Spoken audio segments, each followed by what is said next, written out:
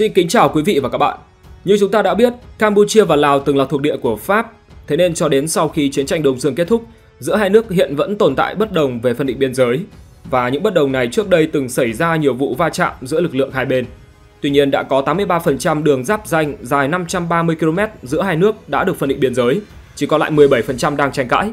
Và chính con số 17% này hay được biết đến là tam giác ba vùng trắng chưa phân ranh giới đã làm bùng nổ căng thẳng biên giới giữa những năm qua giữa Lào và Campuchia, bao gồm khu vực Đông Kralo Chas ở xã Samaki, Deum Lvea ở xã Osvay và vùng trắng thứ ba tại huyện Siempang thuộc tỉnh Stung Trang. Đặc biệt trong số đó là Stung Trang, đây là một tỉnh ở cao nguyên đông bắc của Campuchia. Tên gọi trước đây là Siang Thang, là một bộ phận của đế quốc Khmer. Sau đó nó trở thành một phần của vương quốc Lan Sang và Champasak của Lào. Tỉnh này sau đó được chuyển về cho Campuchia theo hiệp ước Pháp Siêm 1893 sự nhập nhằng này chính là nguyên nhân cả hai bên nổ ra căng thẳng và có lúc đã dẫn tới giao tranh quân sự. Nhưng tưởng chừng như cuộc xung đột giữa hai nước chỉ mang tính chất hoàn toàn địa phương thì thực tế không phải như vậy. Bởi theo các bên nhìn nhận, mâu thuẫn này có thể kéo theo các nước lớn hơn ở Đông Nam Á như Thái Lan và Việt Nam. Và tất nhiên có cả Trung Quốc. Vị thế của Trung Quốc đặc biệt mạnh mẽ ở Campuchia, còn tại Lào vị thế của Việt Nam cũng mạnh mẽ không kém. Trong trường hợp có xung đột vũ trang, Trung Quốc sẽ có lợi nếu tranh chấp biên giới Lào và Campuchia leo thang thành xung đột vũ trang.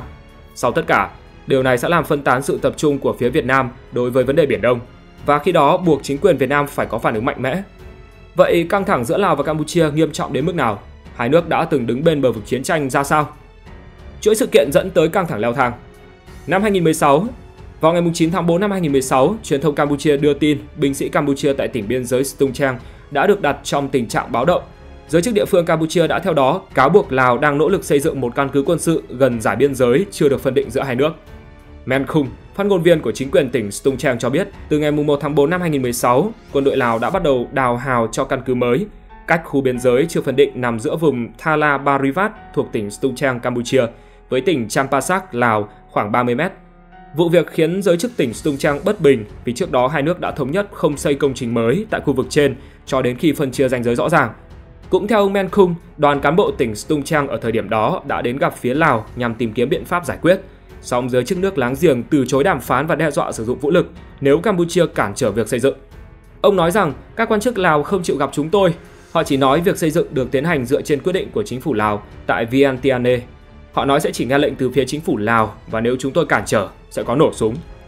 Ông X Sivandom, phó cảnh sát trưởng phụ trách các vấn đề biên giới ở tỉnh Stung Trang, Campuchia, cho biết Công trình xây dựng nằm trong khu vực tranh chấp mà Lào đang kiểm soát gần cửa khẩu quốc tế Chapai Kriel. Chính quyền Stung Trang sau đã cố gắng ngăn cản phía Lào bằng cách chặn dòng xe chở vật liệu xây dựng đến địa điểm trên qua ngã Campuchia, cụ thể là tuyến đường ngang qua quốc lộ 7 của Campuchia. Năm 2017, tình hình bắt đầu căng thẳng hơn khi bước sang năm 2017.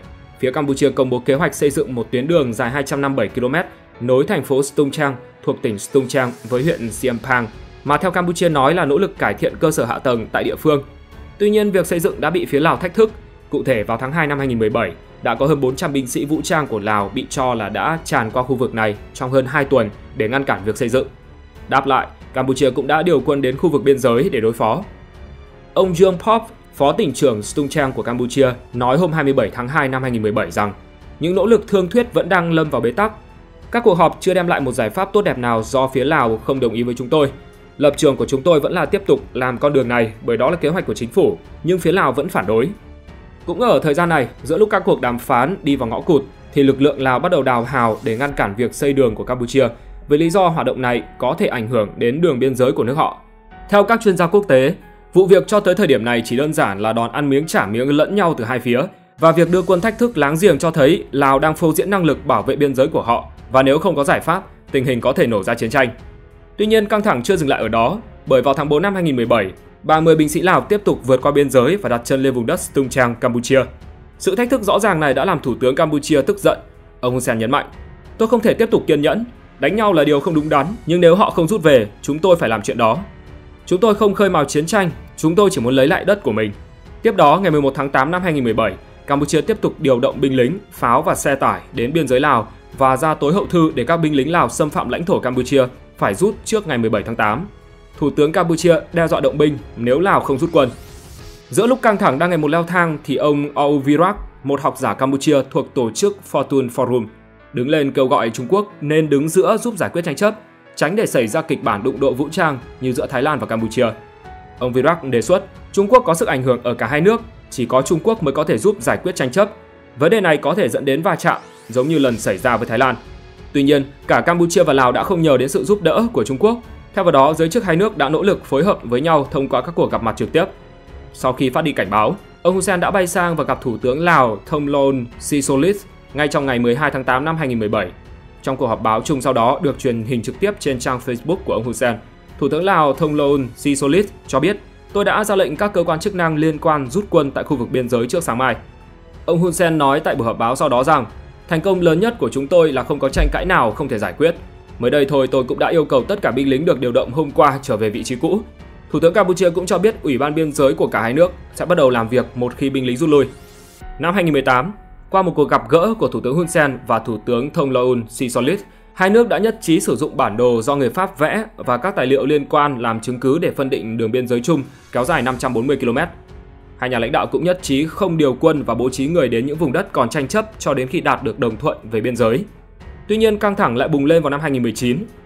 Năm 2019, vào tháng 8 năm 2019, có thông tin nói rằng chính quyền tỉnh Breavihir đã chuẩn bị sơ tán hàng trăm hộ dân khỏi các ngôi làng giáp giới Lào trong trường hợp xung đột vũ trang nổ ra quân đội Campuchia tố cáo binh lính Lào đã xâm phạm lãnh thổ nước này tại huyện Chehep, tỉnh Breavihir trong gần 2 tuần. Tướng Mao Phala, người phát ngôn quân đội Campuchia cho hay, một tốp lính Lào hôm 14 tháng 8 băng qua biên giới và chiếm giữ phần đất gần sông Thonle Rapop dọc biên giới. Khu vực còn được biết đến với tên gọi là Mombay, phá hủy hoa màu của nông dân và tuyên bố là lãnh thổ của Lào. Mọi chuyện chỉ lắng xuống khi vào ngày 24 tháng 8 năm 2019, Thủ tướng Campuchia Hun Sen đã có cuộc điện đàm với Thủ tướng Lào Thông Loun Sisolit và hai bên đồng ý rút quân khỏi khu vực tranh chấp ở biên giới. Tuy vậy, phía Lào một mực phủ nhận vụ căng thẳng này. Phát biểu với báo chí chiều ngày 27 tháng 8 tại thủ đô Vientiane, ông Anosine Khatis Dalat, Phó Tránh Văn phòng Ủy ban Biên giới, Bộ Ngoại giao Lào khẳng định, một số trang mạng đưa tin tình hình biên giới Lào-Campuchia, khu vực Selampao, huyện Maun Lapamok, tỉnh Champasak, thuộc Lào và huyện Sep, tỉnh Preavihir của Campuchia đang bất ổn là không đúng sự thật. Ông Anosine cho biết tình hình khu vực trên vẫn bình thường, chưa hề xảy ra hiện tượng giao tranh, không phát sinh vấn đề căng thẳng. Việc một số bài báo trong và ngoài nước đưa tin không chính xác khiến một số người hiểu sai, ảnh hưởng đến mối quan hệ hữu nghị truyền thống giữa hai dân tộc Lào và Campuchia. Lào luôn coi Campuchia là quốc gia láng giềng gần gũi, đã từng cùng chung khó khăn hoạn nạn. Cả hai quốc gia luôn tôn trọng độc lập, chủ quyền và sự toàn vẹn lãnh thổ của nhau. Năm 2023, vào tháng 2 năm 2023, nhận lời mời của Thủ tướng Chính phủ Lào Sonesay Sifandone Thủ tướng Vương quốc Campuchia Hun Sen đã cùng đoàn đại biểu cấp cao nước này thăm chính thức Lào từ ngày 13 đến ngày 14 tháng 2. Chiều ngày 13 tháng 2 năm 2023, tại Văn phòng Chính phủ Lào, Thủ tướng Sonesei Sifadone đã chủ trì lễ đón chính thức đoàn Thủ tướng Vương quốc Campuchia Hun Sen. Ngay sau lễ đón đã diễn ra cuộc hội đàm giữa Thủ tướng Chính phủ hai nước. Tại hội đàm, hai bên đã cùng ôn lại mối quan hệ hợp tác song phương và đa phương giữa hai nước, bày tỏ sự hài lòng và đánh giá cao mối quan hệ hữu nghị và hợp tác truyền thống trên cơ sở hàng xóm láng giềng giữa nhân dân hai nước Lào Campuchia ngày càng phát triển. Sau cuộc hội đàm, hai bên đã cùng ký kết hai văn kiện gồm văn kiện đầu tiên là hiệp ước phân định biên giới giữa Lào và Campuchia đối với 86% đường biên giới đã hoàn thành việc cắm mốc. Và đây chính là văn kiện quan trọng, là cơ sở để tiếp tục giải quyết vấn đề biên giới còn tồn tại trên cơ sở tình hữu nghị giữa nhân dân hai nước. Văn kiện thứ hai được ký kết là kế hoạch hành động chung giữa Lào và Campuchia giai đoạn 2023-2027. Văn kiện này sẽ tạo điều kiện cơ bản để hợp tác giữa hai nước ngày càng bài bản hơn, đặc biệt là tăng cường quan hệ kinh tế, thương mại, đầu tư, công tác xác định và phân định biên giới, hợp tác khu vực và quốc tế. Thủ tướng Lào và Thủ tướng Campuchia đã chứng kiến lễ ký biên bản kỳ họp Ủy ban hỗn hợp biên giới Lào Campuchia và Campuchia Lào. Giới quan sát khu vực nhìn nhận, chuyến thăm Lào của Thủ tướng Hun Sen vừa qua đã tiếp tục thiết lập thêm một dấu mốc lịch sử trên hành trình phát triển quan hệ Lào Campuchia. Chuyến thăm này được kỳ vọng sẽ mở ra một chương mới trong hợp tác song phương trên tất cả các lĩnh vực, đặc biệt là du lịch và kinh tế thời kỳ hậu đại dịch Covid-19 giữa hai nước qua đó dập tắt nguy cơ giao tranh tại biên giới Lào Campuchia. Nguy cơ đối với Việt Nam nếu hiệp ước phân định biên giới giữa Lào Campuchia chưa hoàn thành. Xung đột giữa Lào và Campuchia tuy đã xuống thang nhưng không ai chắc chắn rằng trong tương lai nó có bùng phát trở lại hay không. Theo giáo sư tiến sĩ Vladimir Koloto, một nhà chính trị học người Nga, tình hình tại biên giới Lào Campuchia là khá nguy hiểm với Việt Nam vì tình huống này liên quan đến các vấn đề địa chính trị của Đông Dương và Biển Đông. Theo ông, tại Campuchia vẫn duy trì và thổi phồng tâm trạng bài Việt Nam. Ở nước này, Trung Quốc giữ vị thế mạnh, còn ở Lào, Việt Nam giữ vị thế mạnh. Trung Quốc sẽ có lợi nếu những cuộc tranh chấp giữa lực lượng biên phòng và doanh nghiệp của Lào và Campuchia dẫn đến các cuộc xung đột vũ trang. Và trong trường hợp này, Việt Nam không thể tập trung hoàn toàn vào vấn đề Biển Đông. Trung Quốc đã từng mấy lần sử dụng Campuchia như một công cụ để gây áp lực lên Việt Nam, đủ để nhớ lại chế độ diệt chủng Khmer Đỏ đã được hậu thuẫn bởi Bắc Kinh. Hãy nhớ rằng, theo lệnh của Bắc Kinh, Campuchia đã ngăn ASEAN ra tuyên bố chung về Biển Đông khi Việt Nam bắt đầu chuẩn bị triển khai các đơn vị quân đội và các hệ thống tên lửa Israel tại một số địa điểm thuộc quần đảo Trường Sa. Trung Quốc lại một lần nữa thổi phồng tình hình căng thẳng tại Campuchia để phân tán sự chú ý. Và nếu Trung Quốc lợi dụng tình huống phức tạp trên biên giới Lào Campuchia thì điều đó sẽ tăng thêm căng thẳng trong khu vực Đông Nam Á. Và theo ông Kolotov, chắc chắn là Việt Nam sẽ hỗ trợ Lào bởi hai nước là đồng minh của nhau. Điều này sẽ dẫn đến một thực tế rằng Việt Nam sẽ phải phân bố lực lượng ở cả phía đông, phía biển và ở phía tây, phía Lào, tức là để cho Bắc Kinh tự do thực hiện tham vọng bá chủ ở Biển Đông. Nguy cơ cho Việt Nam về lâu về dài đó chính là vấn đề lãnh thổ. Giáo sư Kotolov giải thích, cần phải nhớ rằng ở Campuchia khá phổ biến phong trào hồi sinh đất nước với đường biên giới đã từng tồn tại dưới thời đế quốc Angkor, mà một thiên niên kỷ trước, vương quốc này đã chiếm lãnh thổ đồng bằng sông Cửu Long. Hiện nay đây là lãnh thổ của Việt Nam, với thành phố Hồ Chí Minh và phần lớn lãnh thổ Lào. Ở Campuchia có ngày càng nhiều phần tử cực đoan muốn tách ra không chỉ một phần lãnh thổ Lào mà còn phần phía nam lãnh thổ Việt Nam. Họ tuyên bố rằng 8 triệu người Khmer cư trú ở đó đang bị đàn áp, áp bức. Đồng thời phương Tây, chủ yếu là Mỹ, hỗ trợ cho dự án ly khai nhằm thành lập cái gọi là nhà nước đề ga độc lập ở vùng núi trên biên giới Việt Nam, Lào và Campuchia. Điều đó có nghĩa là có tới 14 tỉnh của Việt Nam sẽ bị mất an ninh nếu chính phủ không thể kiểm soát được tình hình tại khu vực. Và nếu Trung Quốc cố gắng sử dụng Campuchia vì lợi ích riêng của họ thì đây sẽ là phương án tiêu cực nhất đối với Việt Nam khi đó Việt Nam phải căng mình để giải quyết khủng hoảng, giáo sư Kolotov cho biết. Ông nhấn mạnh rằng các công việc phân định biên giới Lào-Campuchia phải được hoàn tất càng sớm càng tốt. Việt Nam và bài toán cân bằng ảnh hưởng với Trung Quốc tại Lào-Campuchia Từ sự việc vừa nêu trên có thể thấy tình hình ở Lào-Campuchia ảnh hưởng rất lớn đến an ninh chính trị tại Việt Nam. Và như một hệ quả tất yếu, đất nước chúng ta đang phải nỗ lực gia tăng sức ảnh hưởng tại hai nước nói trên. Thế nhưng không có gì là dễ dàng khi những nước đi của Việt Nam vấp phải những rào cản không hề nhỏ từ Trung Quốc. Quan hệ giữa Việt Nam với Lào và Campuchia vốn là những mối quan hệ có sự gắn kết sâu sắc từ lịch sử. Với Lào, cả hai nước đã cùng nhau đồng hành trong suốt các cuộc chiến chống lại thực dân rồi đế quốc. Còn với Campuchia, Việt Nam ghi dấu ấn mạnh mẽ khi giúp nước này tiêu diệt Khmer Đỏ. Sức ảnh hưởng của Việt Nam vào những năm 1970 tại hai nước Đông Dương nói trên quả thật không gì có thể sánh bằng. Tuy nhiên, thời thế đang dần thay đổi. Trong những năm gần đây, Trung Quốc ngày càng thách thức ảnh hưởng của Việt Nam ở Campuchia và Lào chủ yếu bằng cách vận dụng những dự án trong sáng kiến vành đai và con đường BRI nhằm nâng cao và mở rộng ảnh hưởng trong khu vực. Nói thẳng ra đó là Trung Quốc dùng túi tiền khổng lồ của mình và do hạn chế về khả năng tài chính, Hà Nội đã không thể so sánh với Trung Quốc trong giai đoạn này. Một ví dụ thực tế trong quan hệ Lào-Việt Nam đó là Trung Quốc đã ký nhiều chương trình hợp tác viện trợ cho Lào, trong đó có nhiều nội dung tương tự Lào ký với Việt Nam trước đó như xây dựng hệ thống đài phát thanh truyền hình Lào, xây dựng bản đồ địa chất tỷ lệ 1 trên 2 triệu Bắc Lào, nếu như Việt Nam đã giúp Lào xây dựng các công trình như trường dân tộc nội trú Udom Xây, khoa dự bị tiếng Việt tại trường Đại học Quốc gia Lào, thì Trung Quốc ký thỏa thuận giúp Lào xây dựng trường dạy nghề Udomsey, trung tâm tiếng Hoa tại Đại học Quốc gia Lào. Đồng thời từ năm 2000, Trung Quốc triển khai việc giúp Lào đào tạo mỗi năm khoảng 50 cán bộ quản lý trung cao cấp. Việc hình thành khu kinh tế hợp tác biên giới Bothen Mohan năm 2015 là minh chứng cho thấy sự gia tăng ảnh hưởng của Trung Quốc ở Lào chỉ sau hơn một năm đã có trên 100 tỷ nhân dân tệ được đầu tư vào khu kinh tế hợp tác nằm nối tỉnh Vân Nam của Trung Quốc với tỉnh Bokeo của Lào. Với những động thái rõ ràng như trên, sự đổi chiều quan hệ của Campuchia và Lào với Trung Quốc trong những năm gần đây đã thực sự có tác động đến Việt Nam ta. Chẳng hạn sự hỗ trợ của Trung Quốc có thể đã góp phần vào quyết định của Campuchia và Lào khi hai nước này hoàn toàn ủng hộ lập trường của Việt Nam trong đàm phán Bộ Quy tắc ứng xử ở Biển Đông của Hiệp hội các quốc gia Đông Nam Á ASEAN. Với trường hợp Campuchia, hiện nay đã có những dấu hiệu bất ổn. Hun Sen, thủ tướng nước này trong suốt 35 năm qua, đã được Việt Nam ủng hộ hồi cuối thập niên 1970 để ông này thuộc phe quân đội nổi dậy, đã lật đổ chế độ Khmer Đỏ. Hun Sen cũng đã nhận được sự giúp đỡ lớn của Hà Nội trong thập niên 1980 khi chính quyền Hun Sen đang bị cấm vận bởi Trung Quốc. Tuy vậy, trong những năm gần đây, ông Hun Sen nay đã trở thành một người bạn tốt của Chủ tịch Tập Cận Bình. Để tô đậm thêm sự gần gũi trong quan hệ đôi bên, Ông Hun Sen là nhà lãnh đạo nước ngoài đầu tiên đến thăm tập tại Trung Quốc trong lúc đại dịch Covid-19 đang hoành hành. Ông ta gọi Campuchia và Trung Quốc như những người bạn lâu năm, đáng tin cậy. Lòng trung thành của Hun Sen đối với Trung Quốc được đẩy lên một bậc nữa khi ông ta phụ họa quan điểm lịch sử xét lại của Bắc Kinh về việc hỗ trợ cho lực lượng Khmer Đỏ. Giờ đây, ông ta bỏ qua bất kỳ những phát biểu nào nói về những hành động vi phạm quá đáng của Bắc Kinh trong quá khứ. Một hành động cho thấy Campuchia đã ngả hẳn về phía Trung Quốc. Ông Hun Sen bác bỏ những báo cáo cho rằng Trung Quốc đang có kế hoạch xây dựng một căn cứ không quân và hải quân ở Rim và Darasako. Mặc dù rõ ràng Bắc Kinh đang tham gia tài trợ cho việc xây dựng cơ sở hạ tầng ở những nơi này nhằm giúp họ tiếp cận khu vực này một cách thuận lợi hơn trong tương lai.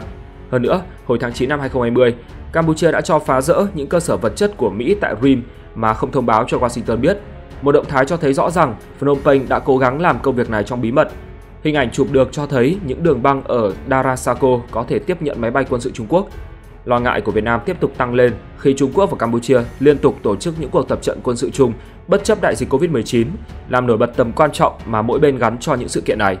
Và nếu Bắc Kinh tiếp cận được Rim hay Darasako dọc theo vịnh Thái Lan, hoặc trong tình huống xấu nhất, Bắc Kinh đột ngột sở hữu và điều hành những căn cứ này, thì cạnh sườn phía Tây của Việt Nam sẽ bị đe dọa nghiêm trọng. Bên cạnh sự hung hăng ngày càng tăng của Bắc Kinh ở Biển Đông, Hà Nội sẽ cảm thấy áp lực gia tăng từ sự bao vây địa chiến lược. Chúng ta cần biết là Campuchia hiện đang là một thành viên tham gia tích cực vào BRI của Trung Quốc với giá trị đầu tư lên tới 5,3 tỷ đô la Mỹ và Phnom Penh đang hưởng lợi dưới hình thức những dự án cơ sở hạ tầng bao gồm cầu, đường, sân bay, đường sắt, đập thủy điện và những đặc khu kinh tế SEZS. Như vậy đúng với câu nói, chỉ có lợi ích quốc gia mới là trên hết và tiền của Trung Quốc đã gần như xóa nhòa những tình cảm của lịch sử và làm đổi chiều mối quan hệ của Campuchia đối với Việt Nam. Ở Lào tình hình cũng đang diễn biến tương tự. Về BRI, chính phủ Lào đang mắc nợ Trung Quốc quá nhiều. Viêng Chăn rõ ràng không có đủ khả năng để trang trả chi phí cho những dự án cơ sở hạ tầng đồ sộ trong chương trình BRI, bao gồm việc xây dựng một đường xe lửa cao tốc chạy từ tỉnh Vân Nam của Trung Quốc tới thủ đô Viêng Chăn cùng với những đập thủy điện dọc theo sông Mekong. Và thay vì chi tiền để thanh toán những món nợ nhằm xúc tiến các dự án trong chương trình BRI, chính phủ Lào có vẻ như sẵn lòng đem các tài sản quốc gia có giá trị khác để giao cho chủ nợ lớn nhất của mình.